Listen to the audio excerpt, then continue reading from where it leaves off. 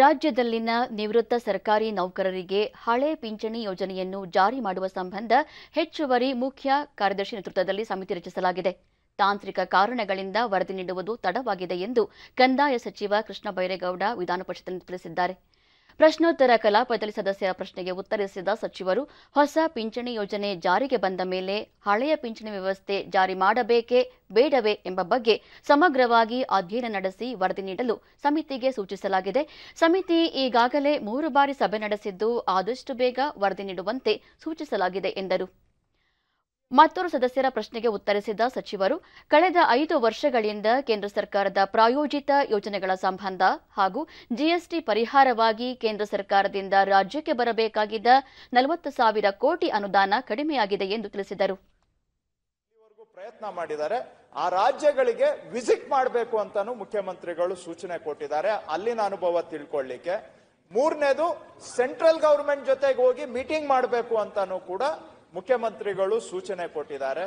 ತಮ್ಮ ಮಾಹಿತಿಗೆ ತಮ್ಮ ಮಾಹಿತಿಗೆ ಹೇಳೋದಾದ್ರೆ, ಸೆಂಟ್ರಲ್ ಗೌರ್ಮೆಂಟ್ನವರು ಕೂಡ, ಮಾನ್ಯ ಸಭಾಪತಿಯವರೇ, ಈ ರಾಷ್ಟ್ರೀಯ ಪಿಂಚಣಿ ಯೋಜನೆಯನ್ನ ಮರು ವಿಮರ್ಶೆ, ರಿವ್ಯೂ ಮಾಡಲಿಕ್ಕೆ expenditure secretary government of India, ಅವರ ನೇತೃತ್ವದಲ್ಲಿ ಅವರು ಕೂಡ ಒಂದು ಕಮಿಟಿಯನ್ನ ಮಾಡಿ ಈ ಯೋ- ಹಳೆ, ನಮ್ಮ ಈಗ ನ್ಯೂ ಪೆನ್ಷನ್ ಸ್ಕೀಮ್ ಅನ್ನ ರಿವ್ಯೂ ಮಾಡ್ತಾ ಇದ್ದಾರೆ. ಸೊ ಆ ರಿವ್ಯೂ ಮಾಡುವಾಗ ಪಿ ಎಫ್ ಫಂಡ್ ಇಂದ ನಮ್ದು ದುಡ್ಡು ವಾಪಸ್ ತಗೊಳ್ಳಿಕ್ಕೆ ಒಂದು ಅವಕಾಶ ಕೊಟ್ರೆ ಮುಂದಿನ ತೀರ್ಮಾನ ತಗೊಳ್ಳೋದಕ್ಕೆ ನಮಗೂ ದಾರಿ ಸುಗಮ ಆಗುತ್ತೆ.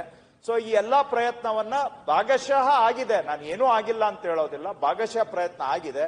ಆದರೆ ನೀವು ನಿರೀಕ್ಷಿತ ಮಟ್ಟದಲ್ಲಿ ಪ್ರಯತ್ನ ಆಗಿಲ್ಲ ಅನ್ನುವಂಥದ್ದನ್ನ ಸರ್ಕಾರ ಒಪ್ಕೊಂಡು ಇನ್ನೂ ಹೆಚ್ಚಿನ ಪ್ರಯತ್ನವನ್ನ ಮಾಡ್ತೇವೆ ಸಭಾಪತಿ. ಸದಸ್ಯರೊಬ್ಬರ ಪ್ರಶ್ನೆಗೆ ಉತ್ತರಿಸಿದ ಗೃಹ ಸಚಿವ ಡಾಕ್ಟರ್ ಜಿ ಪರಮೇಶ್ವರ್, ರಾಜ್ಯದಲ್ಲಿ ಅಕ್ರಮವಾಗಿ ನೆಲೆಸಿರುವ ಬಾಂಗ್ಲಾದೇಶದ ವಲಸಿಗರನ್ನು ವಿಶೇಷ ಕಾರ್ಯಾಚರಣೆ ಮೂಲಕ ಪತ್ತೆ ಹಚ್ಚಿ ಗಡಿಪಾರು ಮಾಡಲಾಗುವುದು ಎಂದು ತಿಳಿಸಿದರು. ಬೆಂಗಳೂರು ಸೇರಿದಂತೆ ವಿವಿಧ ಜಿಲ್ಲೆಗಳಲ್ಲಿ ನೆಲೆಸಿರುವ ಬಾಂಗ್ಲಾದೇಶದ ಅಕ್ರಮ ನಿವಾಸಿಗಳನ್ನು ಪತ್ತೆ ಹಚ್ಚಲಾಗುತ್ತಿದೆ. ಪೊಲೀಸ್ ಇಲಾಖೆ ಅಧಿಕಾರಿಗಳು ಇತ್ತೀಚೆಗೆ ವಿಶೇಷ ಕಾರ್ಯಾಚರಣೆ ನಡೆಸಿ ಐದು ಸಾವಿರಕ್ಕೂ ಹೆಚ್ಚು ಮನೆಗಳಿಗೆ ಭೇಟಿ ನೀಡಿ ಪರಿಶೀಲಿಸಿದೆ. ಈ ಕಾರ್ಯಾಚರಣೆ ಮುಂದುವರೆದಿದ್ದು ಅಕ್ರಮ ವಲಸಿಗರನ್ನು ದೇಶದ ಗಡಿಯವರೆಗೂ ಕರೆದೊಯ್ದು ಬಿಟ್ಟು ಬರುತ್ತೇವೆ ಎಂದರು. ಅನೇಕ ಸಂದರ್ಭದಲ್ಲಿ ನಾವು ಅವ್ರನ್ನ ಬಾರ್ಡರಿಗೆ ತಗೊಂಡೋಗಿ ಬಿಟ್ಟು ಬಾರ್ಡರ್ನಲ್ಲಿ ಅಲ್ಲಿ ಬಿ ಎಸ್ ಎಫ್ನವ್ರಿಗೆ ಹ್ಯಾಂಡ್ ಓವರ್ ಮಾಡಿ ಅವರನ್ನ ಕಳಿಸ್ಕೊಡಿ ಅಂತ ಹೇಳಿ ಆ- ಆ ಕ್ರಮವನ್ನು ತಗೊಳ್ತೇವೆ. ಇದಕ್ಕೆ ಜೊತೆಯಾಗಿ ಕೇಂದ್ರ ಸರ್ಕಾರದವರು ಈಗಾಗಲೇ ಐದು ರಾಜ್ಯಗಳನ್ನು ಐಡೆಂಟಿಫೈ ಮಾಡಿದ್ದಾರೆ.